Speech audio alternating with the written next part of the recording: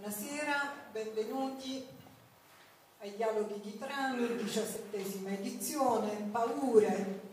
Non potevamo non scegliere questo tema, ve lo diremo un sacco di volte in questi giorni, ma credo che eh, lo capiate tutti quanti perché da tanti mesi ci stiamo lavorando. E eh, stasera apriamo con questo primo incontro con un artista, Dario Agrimi,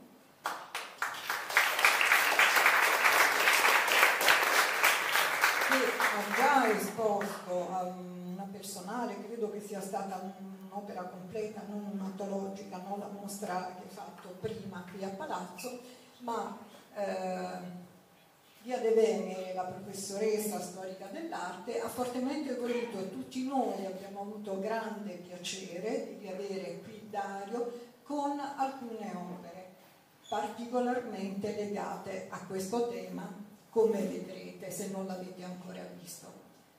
E con loro, con loro il nostro il giornalista di Rai 3 questo momento io sto avendo un vuoto totale. Marinelli, Vito Marinelli, scusate.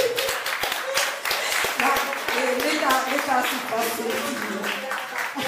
Sono, sono riuscita. Ho fatto tutta una scena, naturalmente, non era vero niente.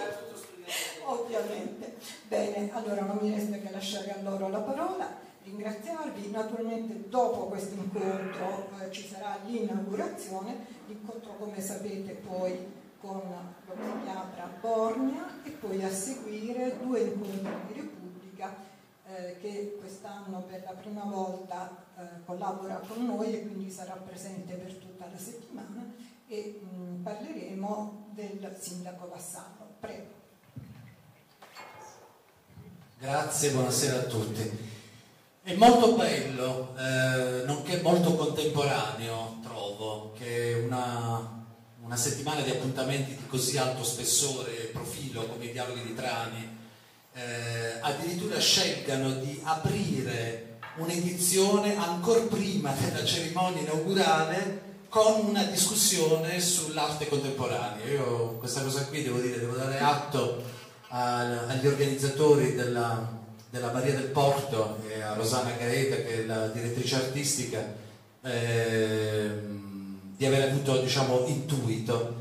Un intuito che, eh, di cui io ho avuto conferma recentemente perché sono appena rientrato da, una, eh, da un soggiorno a Venezia dove sono stato per la mostra del cinema di Venezia e anche per la Biennale di architettura e sono andato a vedere anche una mostra alla Fondazione Pinot alla punta della dogana che si chiama Dancing with Myself, una coproduzione Palazzo Grassi, Museo di Essen eh, in cui ci sono eh, tra i temi trattati eh, c'era anche quello appunto legato alla rappresentazione dell'esistenza e quindi anche della morte. Quindi davvero complimenti. Io ringrazio davvero eh, i dialoghi di Trani e la Maria del Porto per avermi invitato. È già la terza volta che intervengo qui come moderatore ai dibattiti dei dialoghi di Trani e questo sodalizio devo dire che mi, mi lusinga molto e mi, mi, mi rallegra. Grazie, grazie ancora Rosanna, grazie a Eh, dicevo di questa rappresentazione della morte e, e, della, e delle paure, no? che è il tema generale dell'edizione 2018 dei Dialoghi di Trani. Eh, ognuno di noi ha le sue paure, sono tante le paure, giornalmente anche leggendo i giornali, andando nelle piattaforme social, guardando la televisione, insomma il tema della paura ci accompagna tutti i giorni, è un, è, è diciamo, è un must quotidiano, c'è la paura di perdere il lavoro, c'è la paura di non avere abbastanza sicurezza, c'è la paura dei ritardi della giustizia, di non avere giustizia, insomma ci sono tutte queste forme di angosce, angosce che poi quando diciamo, raggiungono eh, estremizzazioni eh, diventano fobie. E quindi eh, abbiamo la, la, xenofobia, abbiamo l'omofobia e abbiamo anche la tanatofobia. La tanatofobia, cioè la paura della morte, che è un elemento diciamo, che contraddistingue in maniera particolare tutta la filosofia del pensiero contemporaneo del mondo occidentale, perché soltanto da noi c'è questa paura della morte, perché nelle filosofie orientali o nelle, eh, diciamo, nelle, ehm, nel, nelle arti e nelle scienze sciamaniche, anzi il momento del trapasso viene vissuto come un, quasi come un premio, come una liberazione o come diciamo, un inizio di un nuovo percorso extrasensoriale. Eh, quindi ora mh, noi ci troveremo diciamo, a discutere in questo incontro dell'arte contemporanea come una forma di esorcismo, se, se esiste diciamo, questa forma di esorcismo, eh, nei confronti della, della, della, della paura, di questo, di questo, tema, di questo plot eh, narrativo contemporaneo. E a discutere insieme a me eh, di questo tema abbastanza angosciante se vogliamo, ma anche molto stimolante, è l'artista diciamo, che oggi inaugura anche la sua mostra, Dario Agrimi, che è già stato ospite, come diceva Rosana Gaeta, eh, di Palazzo Beltrani dove c'è stata una, un'antologica, una retrospettiva, come la possiamo chiamare? Insomma un tutto, diciamo, una somma del lavoro di Dario Grimi. Per questa eh, edizione di Dialoghi di Trani sono state scelte tre opere, due delle quali sono in fondo qui nella sala di fronte e una invece al primo piano. Le opere si chiamano eh, Non dice chi è, eh, Limbo e Ascesa, credo, giusto? E poi alla mia destra eh, la curatela, diciamo, la critica d'arte, nonché eh, docente dell'Accademia delle Belle Arti Via De Venere, con la quale appunto tratteremo questo, questo tema. Eh, le opere di Dario Agrimi eh, ci conducono diciamo, a metà diciamo, su, questo, su questo percorso di analisi delle paure contemporanee ci accompagnano a metà tra il serio e il faceto, diciamo, tra il laico e il prosaico, tra l'angoscia e l'attesa, diciamo, anche di quel momento che rappresenta un po' un, un appuntamento eh, inconfutabile per, per, tutti quanti. Ecco, io da qui vorrei cominciare a discutere eh, sulla nostra paura della dipartita dal mondo e anche sulla, sull'essenza della vita, diciamo, con te, con Lia, faccio a te la prima domanda e poi ovviamente Dario mi hai promesso che parlerai, perché so che tu sei una persona che parla poco, diciamo, preferisce eh, dipingere oppure creare queste installazioni abbastanza inquietanti, però mi hai promesso che parlerai. Qualche cosa? No, no, no, no, invece sono tutti molto curiosi perché gli artisti di solito si guardano, nessuno li ascolta, invece quando gli artisti parlano credo che ci sia anche un elemento di, di interesse. No, Lia? Ecco, benissimo. Allora, io vi, vi, vi, sottopongo una domanda così abbastanza dadaista, ecco, si può sorridere all'idea, alla paura della morte, all'idea della morte? Ti porgo il microfono. Eh, esordisco con eh, un consiglio. Eh, andate su internet, cercate TAFO, eh, è il nome di un'agenzia di servizi funebri, eh, di servizi funebri che ha scelto uh, l'ironia, uh, ha scelto uh, un'ironia devo dire anche leggera per pubblicizzare i propri servizi.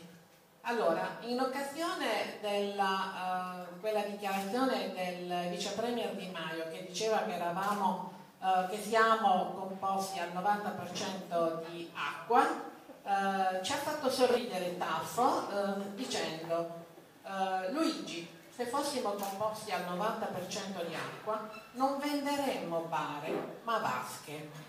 Non solo, ma mi pare che abbiano aggiunto da qualche altra parte, non eh, proporremmo la cremazione, ma l'evaporazione. Dopo questa, dopo questa parentesi dirò che in effetti eh, diciamo, mh, mm, si può sorridere della morte, eh, diceva Marco Aurelio addirittura la morte sorride a tutti e un uomo non può far altro che sorriderle di rimando.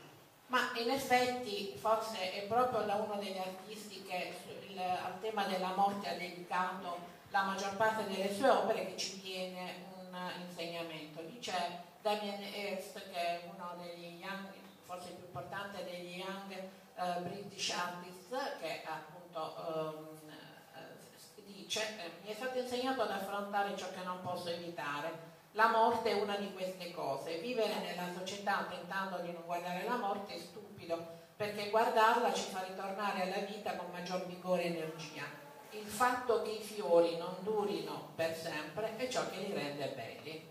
Ma si può proprio si può sorridere sul tema. Sulla tomba di eh, ehm, eh, Walter Chiari c'è scritto non preoccupatevi, è sonno arretrato. Uh, Roberto Benigni ha scritto morire non mi piace per niente, l'ultima cosa che farò è via di seguito.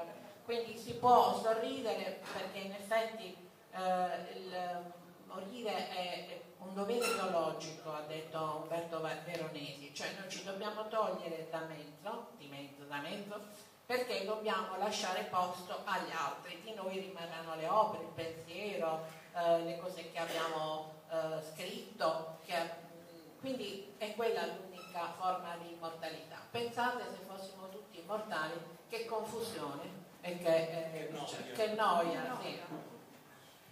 Dario, allora io adesso lo chiedo a te, diciamo, qual è il, il confronto tra positivismo e negativismo nell'approccio al tema della morte, della paura, del trapasso? Ecco, tu che sei un, un creativo, diciamo, secondo te qual è il, il, il vero orientamento diciamo, per poter affrontare con eh, prosaismo filosofico, se posso usare questa espressione, uno dei, dei momenti diciamo, assolutamente ineludibili della nostra esistenza. Buonasera. Eh, io ho la mia personalissima opinione per quanto riguarda questo argomento. Eh, penso che la morte sia la risposta. La risposta a quella che è la domanda fondamentalmente.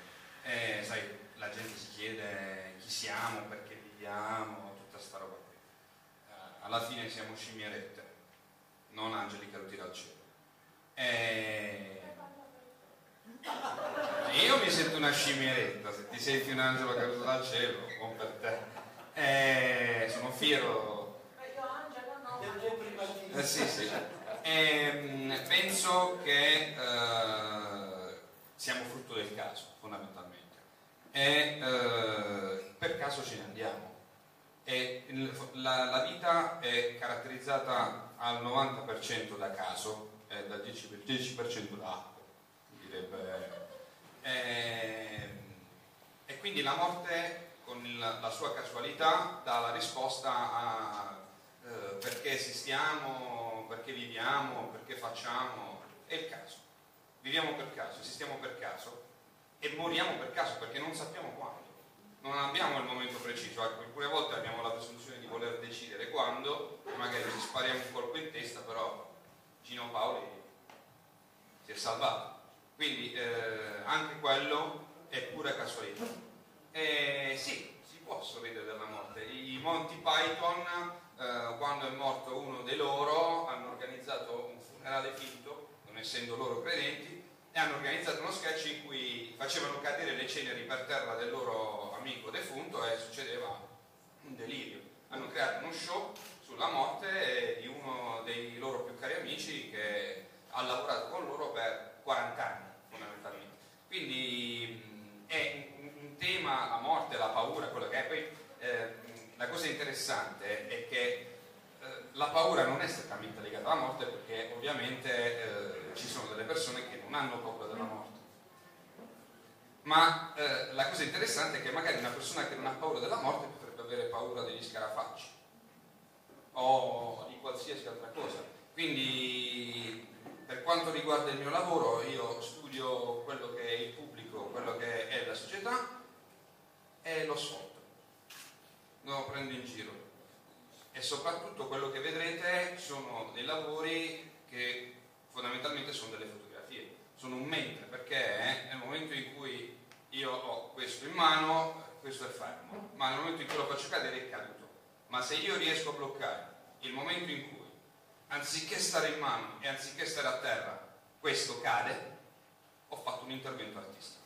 Quindi quello che andrete a vedere, che vedrete sopra, sotto, in giro, nei bagni, quello che è, soprattutto nei bagni, ma nei bagni su, eh, è un mentre. E noi non siamo abituati a vedere un mentre, siamo, è, è, come vedere un uccello volare. L'uccello volatile.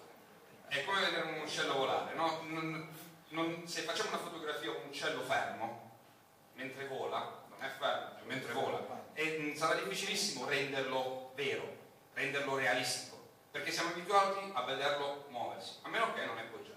Quindi quello che state vedendo è un mentre. E io sono andato ampiamente fuori tema e quindi possiamo andare avanti. Beh, devo fare un applauso, diciamo, merita un applauso questo pensiero di Daria Crimi, veramente abbiamo scoperto in lui un'anima di Siddhartha, diciamo, una saggezza che va al di là della, della composizione estetica, giusto professoressa? Benissimo. Allora, eh, tornando al tema, nelle opere di Dario, come vedrete, diciamo, oltre al senso di inquietudine e di angoscia, c'è anche diciamo, un sottile eh, tratteggio di sarcasmo e di ironia, quasi come se eh, la composizione artistica eh, potesse essere, diciamo, dire, uno strumento così comico, burlesque quasi, per poterci porre di fronte alla, all'analisi, diciamo anche etica, del comportamento umano di fronte a, alla morte. Ecco, la prossima domanda che vi voglio fare è questa. Noi abbiamo più paura per la causa o per l'effetto, diciamo, quando ci troviamo anche di fronte ad una dimensione di contemporaneità come un'installazione d'arte, come nel caso di, di Dario?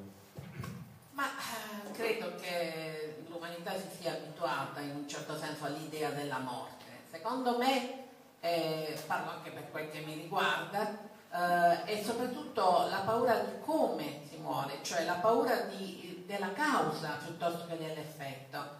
Per il semplice fatto che eh, beati quelli che muoiono in 15 minuti, e invece ce ne sono tantissimi che hanno una lunga agonia, che hanno eh, gli ultimi anni della propria esistenza rovinati dalla eh, coscienza di essere vicini, ma di non sapere quando dover, dover morire.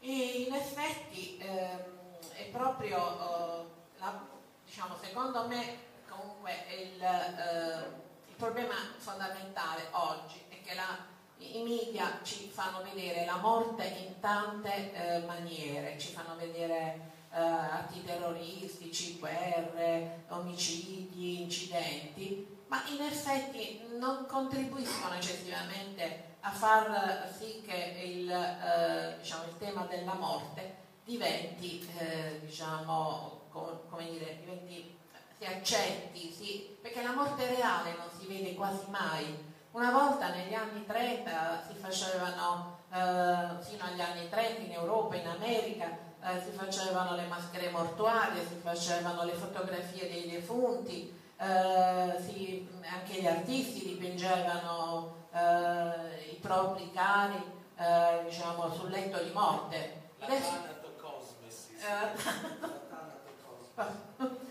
eh, quindi adesso non si fa neanche più, non, non, non credo proprio che cioè, si fa di nascosto, ma non si fa più neanche, cioè no, non si fa più proprio. Quindi eh, per me è soprattutto la causa, perché eh, no, insomma tutti vorremmo morire in 15 minuti eh, e basta, magari senza aver avuto nessuna disaglia precedentemente.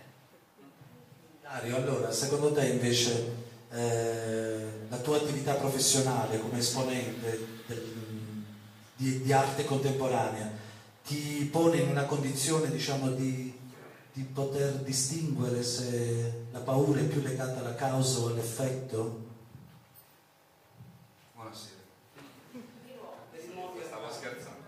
Eh, in questo caso, questa è una grande domanda, perché in questo particolare caso la risposta è soggettiva ed è l'amore. Causa o effetto? Dipende da eh, per chi e per cosa vive un individuo. Perché nel momento in cui eh, ti dicono ti restano sei mesi, se vivi per te stesso è una cosa e quindi è la causa. Se vivi per qualcun altro è un'altra cosa, è l'effetto perché pensi a quello che sarà l'effetto sui tuoi familiari, sui tuoi figli, sui tuoi nipoti, sui tuoi amici, sulle persone a cui mancherai. E quindi eh, sì, la causa è il dolore, ma eh, dipende chi sei. Perché se sei qualcuno che vive per gli altri, che è, ha dedicato la propria vita agli altri e ha, aiutato gli altri, e della causa se ne frega. Avrà l'effetto come cosa più importante per sé, perché non potrà più contribuire a migliorare o ad aiutare tutti gli altri, tutte le persone che fondamentalmente lo renderanno vivo dopo la morte, perché ciò che rende vivo un qualcuno dopo la morte, a meno che non sia un artista o,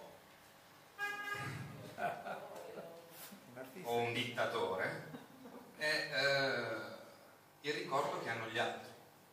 Quindi se uno non ha un buon ricordo, per me è, è effetto, fondamentalmente. Eh sì, ma io eh, spero, nell'apoc- spero nell'Apocalisse, cioè così non resta vivo nessuno, nessuno si ricorda di nessuno, quindi fine, no? Poi fondamentalmente eh, il quadro della scala evolutiva eh, è chiaro, no? Basta tirare fuori un telefonino, tiriamo fuori un telefonino, uno qualsiasi, il mio, in questo caso che è anche più comodo.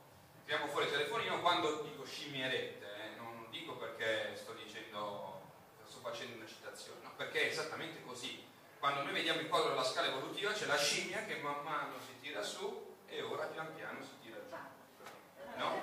È questo che stiamo diventando. Siamo, schiavi di questa cosa qui. Voi provate a spegnerlo per una settimana. Se provate a spegnere il telefono per una settimana, avete un sacco di problemi. WhatsApp va in tilt, Facebook anche, perché arriveranno centinaia di migliaia di messaggi, amici, cugini, compagni, tutta questa roba qua. Si è- ormai si è dipendenti da questa cosa qui. E questa cosa qui ci sta riportando, la gente non si guarda più in faccia. Infatti gioiscono i cartopelici. Eh sì, ma si fanno un sacco di soldi, ma, ma è giusto così, è giusto così. Spero di essere stato soddisfacente.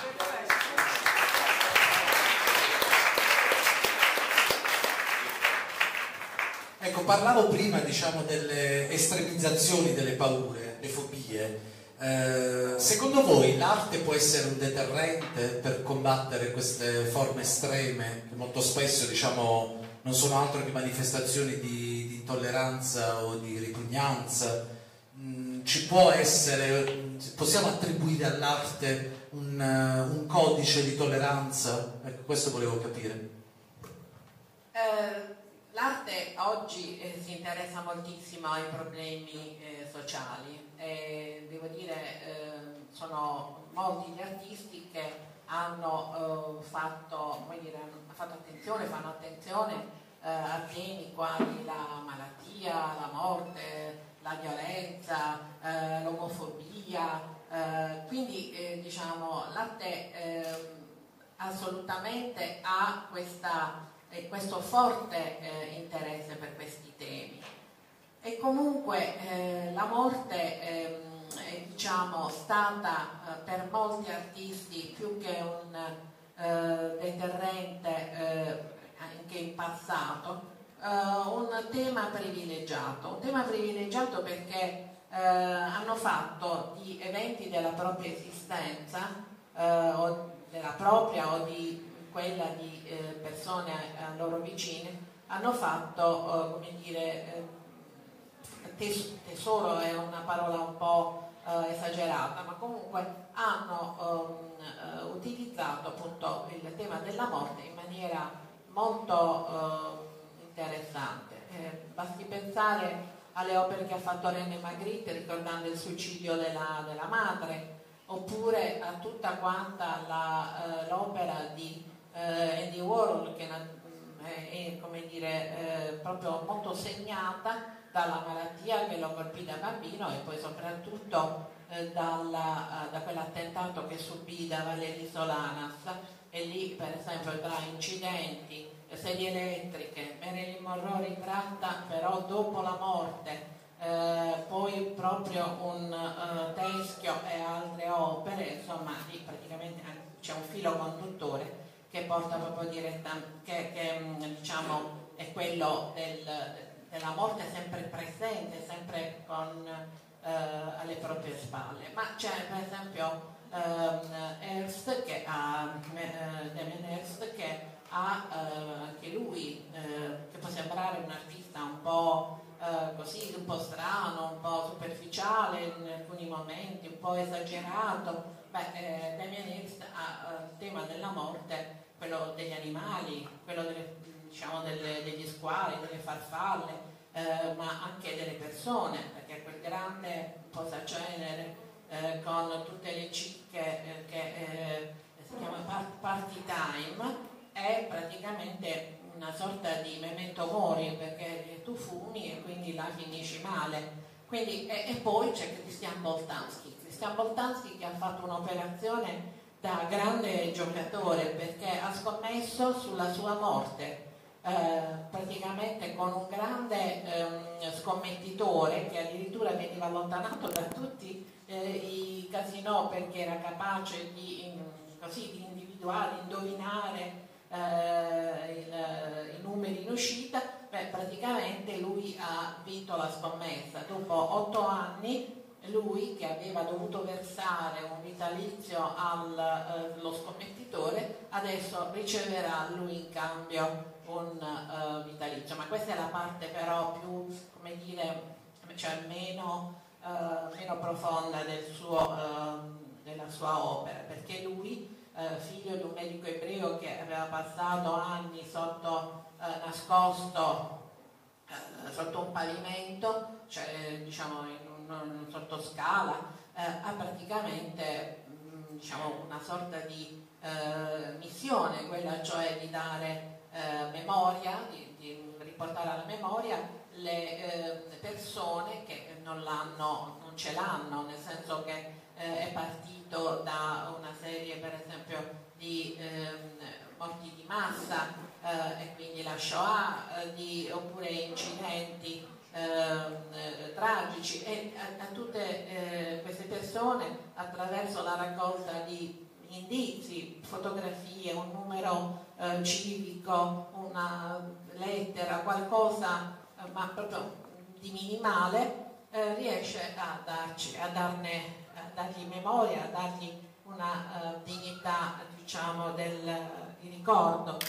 E quindi altri artisti hanno uh, diciamo, uh, celebrato in un certo senso nel proprio lavoro la morte, per esempio Sophie Kahl, quella della madre, ma diciamo, è un, un tema che è molto molto dire, presente nell'opera di molti artisti contemporanei, ma anche andando indietro nel passato, pensate, è stata la, la, pittura del realismo che ha portato la morte alla ribalta dell'arte, perché eh, l'ha rappresentata eh, raffigurando anche delle persone semplici. Il funerale ad Ornans di Gustavo Courbet eh, è un'opera del 1849 ed è già la celebrazione della morte eh, quindi eh, non è un eroe, non è un santo, eh, non è un condottiero, quindi diciamo, la morte eh, per, nel realismo è stata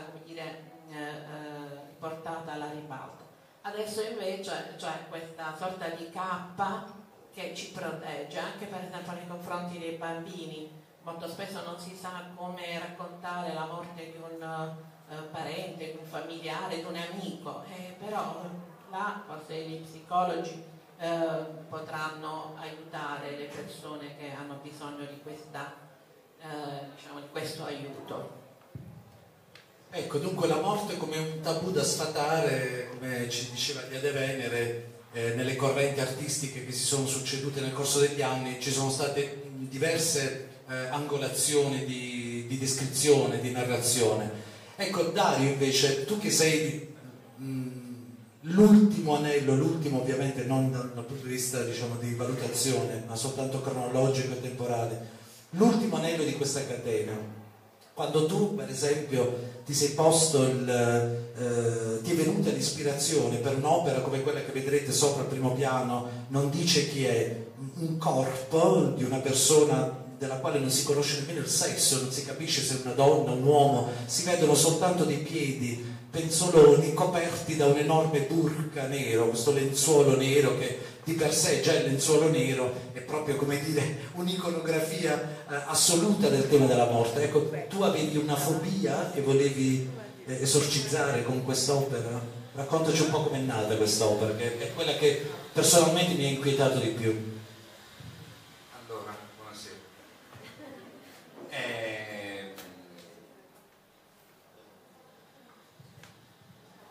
parla di processo creativo. Eh, anche qui eh, è un qualcosa di assolutamente soggettivo. In questo caso c'è anche in sala una persona che sa perfettamente di cosa sto parlando riguardo quell'opera, sei tu là dietro. Eh, quell'opera in particolare, eh, ora farò una cosa che non sono abituato a fare, nel senso che il, la mia personalissima opinione è che l'artista non debba parlare del proprio lavoro perché se il lavoro funziona non ha bisogno di essere spiegato. Questo è quanto. E poi per parlare delle opere ci sono i critici, gli storici, i curatori e quindi perché è come se io vado in giro a dire io sono figo uno dice, oppure sono un genio e uno dice sì, vabbè, sei un cretino. L'opinione del critico è più scontata, quello dell'artista direttamente. Eh sì, però è il critico, lo storico e il curatore che fanno sì che l'artista vada avanti. Cioè se, se, io vengo da te e ti dico sono un genio, tu pensi che io sia un deficiente. Ma se viene lei da te e ti dice, eh sì, ma se lei viene da te e ti dice quello è un genio, è un'altra cosa. Eh, vabbè, ragazzi, però. Allora, uh, le cose funzionano così. Quell'opera era un'opera che mi è stata commissionata per uh, il carnevale e quindi dovevo uh, realizzare un qualcosa sul carnevale. E allora sono andato a vedere il carnevale di Putignano. Mi sono seduto a meno 10 gradi, forse, su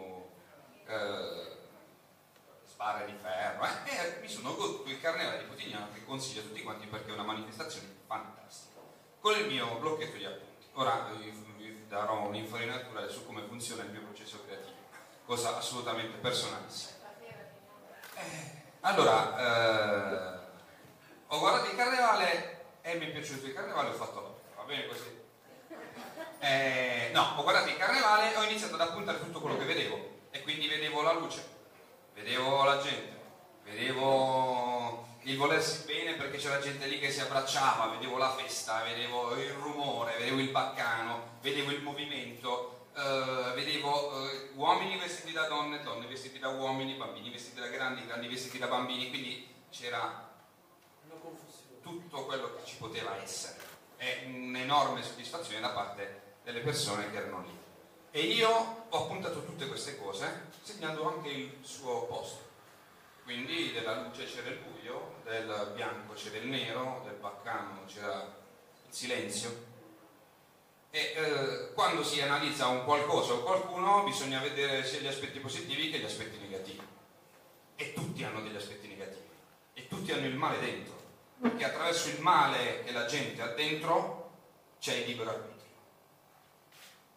attraverso il dolore, le sofferenze, noi, la mia opinione è che siamo frutto, il nostro carattere è frutto dei traumi che subiamo durante l'esistenza, che siano positivi o siano negativi. Per esempio a me fa schifo la zucca, chissà che cosa ho subito per, dirmi, per dire che fa schifo, cioè non, la, non riesco neanche a pensarci alla zucca, mi era vomitata. E eh, allora mi sono documentato su quelli che sono tutti gli aspetti negativi e viene fuori che l'aspetto negativo di luce, bene, tutta questa roba qua è il male. E il male è incarnato in quella che è tutta la nostra roba, religione, tutta questa roba qua, è fondamentalmente il diavolo.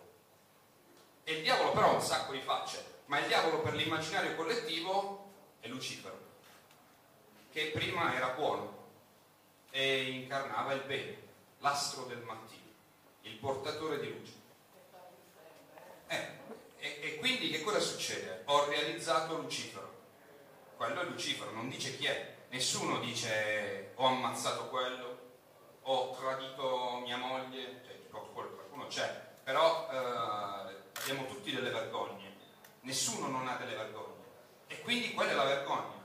E è, nulla è dato al caso in quell'opera perché il nero, i teli neri sono vellutino da teatro che serve per azzerare le luci, quindi il portatore della luce non può emettere luce propria, ma ha dei piedi che sono taglia 56, frutto di una grande ricerca, ho cercato un tizio alto 2,20 m per realizzare quei piedi, taglia 56 di qualcuno che magari è sulla terra da sé, è un qualcuno che tu non sfideresti mai a uno scontro fisico, perché è, è, è, è possente, è il sapere fondamentalmente e non è né a terra e né in alto. È un, in un mentre. No, Lucifero, il male, approfitta della confusione del carnevale dove tutti sono mascherati per mascherarsi e provare a stornare in paradiso. Ma è bloccato perché nel momento in cui tu ti stacchi da terra non hai più la condizione umana, perché noi siamo legati esattamente alla forza di gravità, ovvero la forza con cui ogni corpo è attratto dal centro della Terra, e quindi è bloccato lì. Perché eh, nel momento in cui uno ammette l'esistenza del diavolo, ammette anche l'esistenza di Dio. Fondamentalmente è quel Dio che lo blocca. E quindi abbiamo un mentre. E quindi ho finito. Bravo. Okay?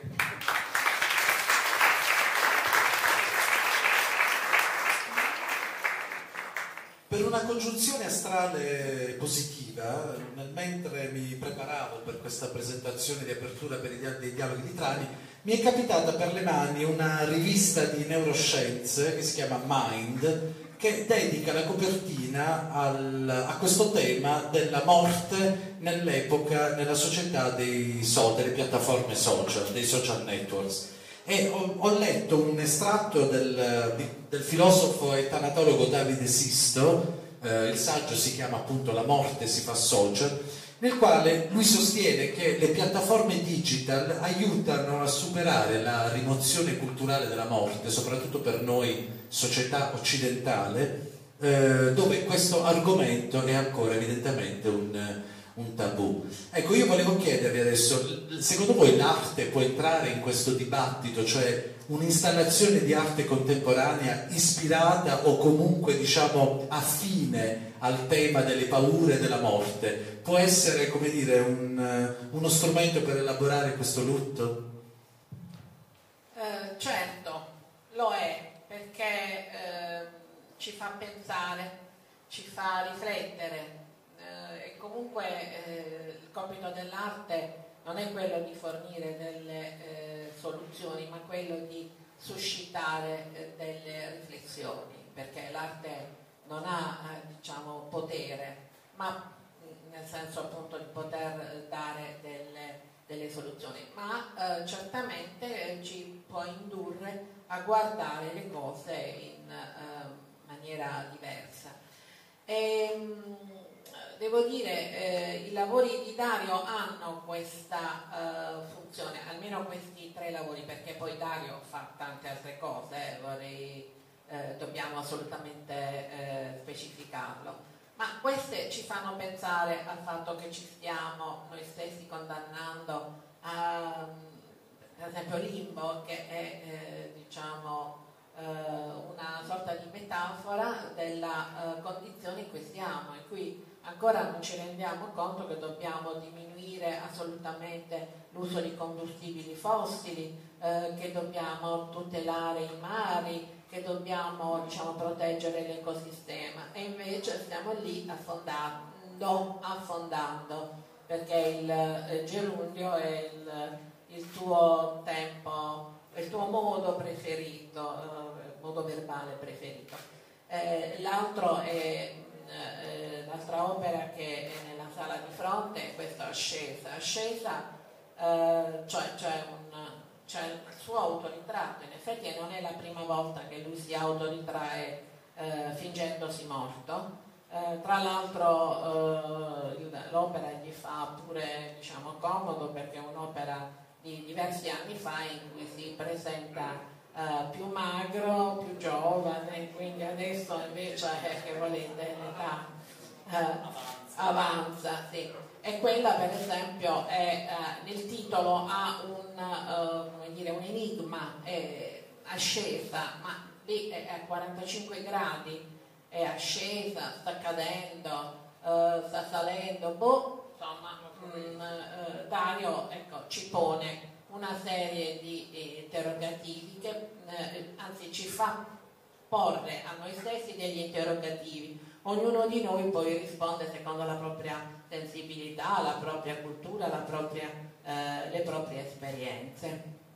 Ma io voglio dire qualcosa su Dario perché adesso abbiamo parlato troppo di morte, ma dobbiamo parlare di, un, di quello screanzato che conosco ormai da molti anni eh, io dico screanzato eh, perché lui non ha creanza, però lui è una persona che ehm, eh, diciamo è insolente eh, e, e, poi vi leggerò le, gli altri aggettivi che gli sono stati dedicati, però si ferma sempre un secondo prima, un nanosecondo prima di essere eh, esagerato. E allora Dario è stato definito eclettico, ironico, arguto, irriverente, iconoclasta, sfacciato, sicuro di sé, provocatore, demistificatore, istrionico, multiforme, blasfemo, insolente, sfrontato. Del suo lavoro si è detto che è spiazzante, dissacrante, qualche volta addirittura amorale, oh, insomma, forse hanno esagerato. E la cosa interessante è che lui usa um, eh, in maniera disinvolta eh, tecniche, linguaggi e tecniche diverse, la pittura, la scultura, la fotografia, eh, il video, la performance e utilizza anche materiali, oltre ai materiali tradizionali che voi conoscete, ma anche delle cose un po' strane. Avevi fatto un accordo col parrucchiere? Eh, ho utilizzato persino capelli umani per realizzare dei bellissimi ritratti. Basta non pensare appa- erano già lavati. Ovviamente no. Ah, quindi aveva fatto l'accordo col, col parrucchiere. Eh, oppure gusci nuovi, oppure oggetti usati che eh, prendono nuova vita eh, sotto, eh, diciamo, nelle sue mani. E poi la cosa importante è che eh, soprattutto eh, la serie di temi che lui diciamo, pratica e sono la religione, la, l'attualità, gli stereotipi della vita contemporanea, l'erotismo, la paura della morte e quindi eh, diciamo siamo, siamo, in tema in questo momento. Poi ehm, soprattutto le cose che caratteri- cioè, i caratteri fondamentali sono eh, una forte componente teatrale, voi vedete che le opere da sole fanno, fanno scena, come si potrebbe si può dire.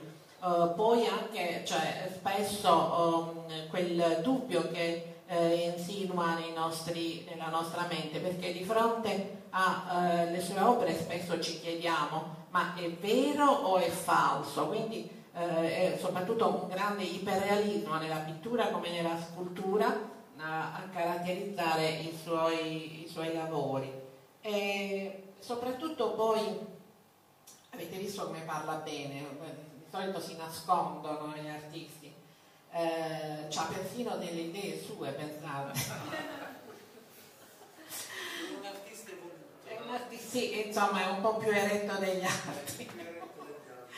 Allora, dicevo, e soprattutto ehm, il suo vero obiettivo eh, è eh, sì, eh, diciamo, far apprezzare il suo lavoro, ma in effetti è soprattutto suscitare una reazione nel pubblico, eh, cioè eh, cercare di eh, diciamo, di farlo reagire. Allora può essere eh, stupore, può essere eh, insofferenza, può essere eh, disgusto, rifiuto, ma una reazione c'è sempre. E eh, Dario, diciamo, in questo è proprio bravo perché a quel punto, quando riesce a suscitare una reazione negli osservatori, è arrivato, diciamo, al suo uh, obiettivo. Eh, mi sembra che delle, delle, opere abbiamo già parlato, quindi dovete solo andare a vederle e, e poi diciamo cominciate a pensare, perché l'arte è fatta per far pensare. Eh, soprattutto, diceva Georges Braque, eh, l'arte eh, serve a turbare perché eh, la scienza rassicura. Oggi purtroppo neanche la scienza ci rassicura più. Grazie Dio. Davvero interessante questa analisi e questo, questo, spunto critico. Allora Dario, alla fine di questo intervento, perché dobbiamo dare spazio alla cerimonia inaugurale, io non ho ancora capito bene se tu hai paura della morte oppure se la morte ti fa rabbia. A me per esempio mi fa rabbia l'idea della morte, perché l'idea di dover lasciare un qualche cosa di interrotto proprio mi, mi, mi, mi, irrita. Non so, a te invece quando eh, ti sei così abbandonato all'estero creativo per questi lavori che vediamo qui stasera, qual è stato diciamo, il tuo vero sentimento nei confronti della morte? Era veramente paura o era piuttosto una maniera così, una scacciacani? Allora, buonasera. La paura della morte, sì. Ehm, la, ho la mia speranza è quella l'unica eh, è quella di andarmene dopo mia madre, sempre per causa effetto. E la paura della morte no, cioè non, è, non ho paura del dolore, di queste cose qua.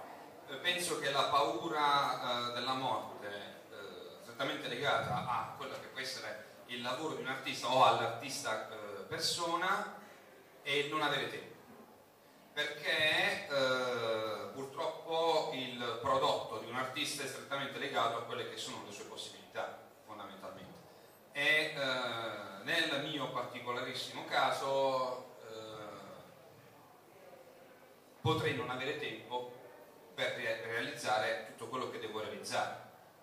E eh, vi garantisco che nonostante io abbia realizzato tanto agli occhi di molti, io ho realizzato lo 0,5% di quello che dovrei realizzare o che potrei realizzare se, se avessi ah, io, io, dormo 4 ore al giorno e lavoro 15 ore quindi non è, è, uh, è il tempo la paura di non avere tempo cioè la paura che tutti quei momenti in cui hai dormito con il blocchetto ti sei preso gli appunti sulle mani uh, sei stato sveglio a lavorare per cercare di raggiungere un risultato, sperimentazione, venga sprecato.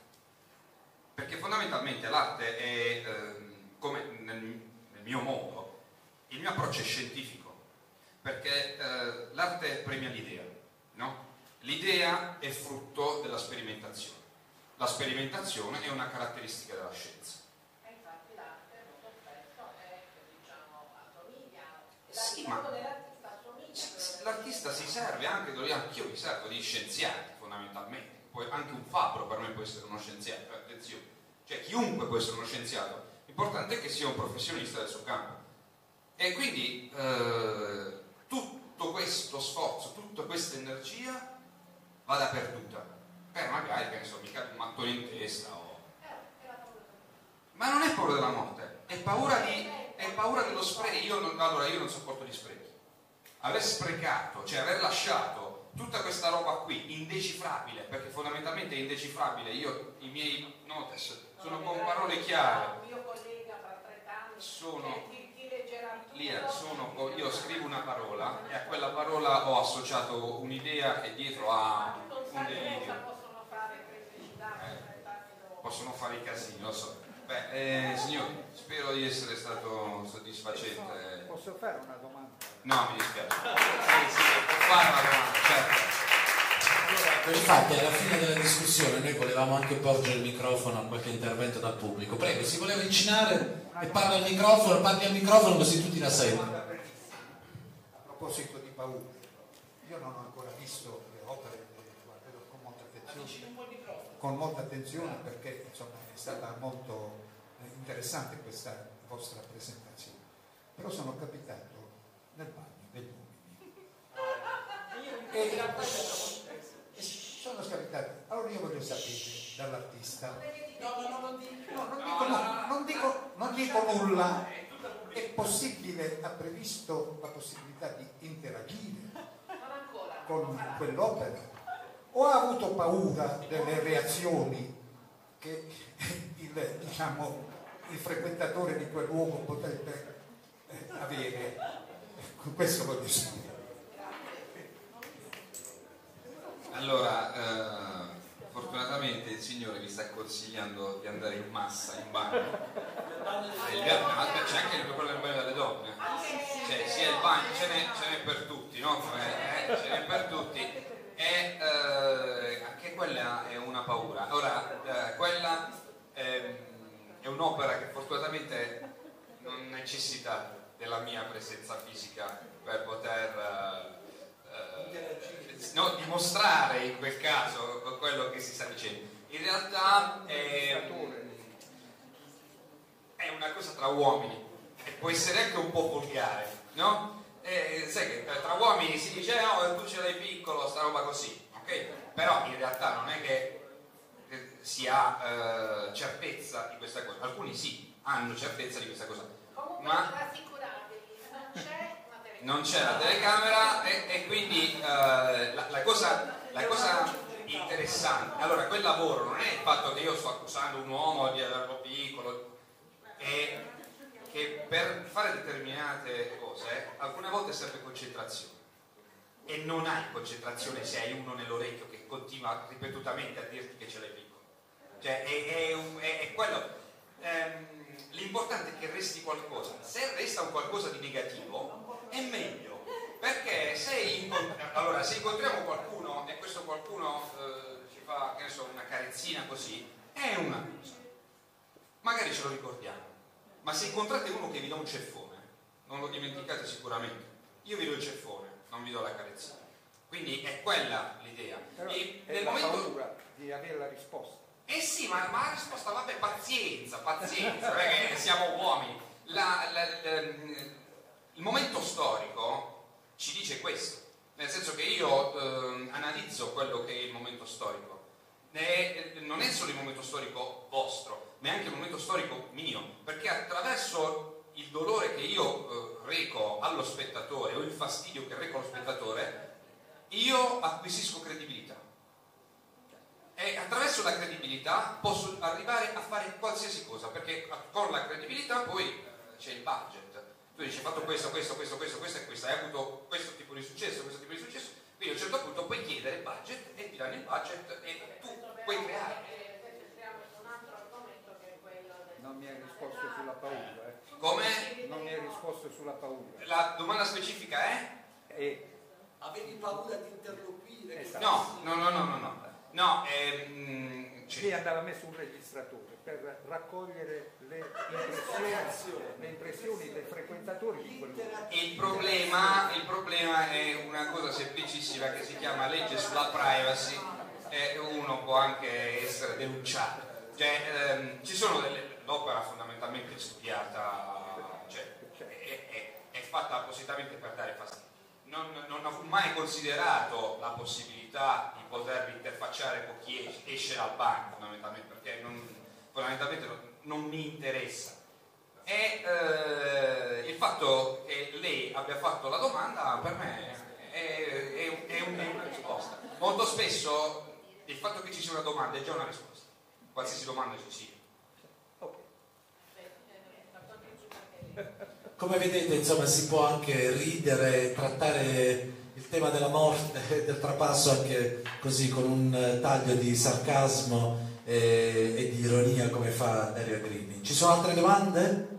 No? Allora tutti siete in ansia di andare nel bagno sì certo ho capito subito allora ecco le donne non ve lo diciamo nemmeno che cosa troverete quindi io vi lascio alle, eh, a, alla degustazione così delle opere di Dario Agrimi, alle, alla, allo scatenare delle vostre inquietudini. Eh, vi ringrazio per essere stati con noi in compagnia nostra per questa prima discussione dei dialoghi di Trani 2018. Ringrazio ancora una volta per la fiducia accordataci eh, Rosanna Gaeta della Maria del Porto, eh, curatrice artistica dei dialoghi di Trani Grazie ancora a tutti e buon proseguimento di serata.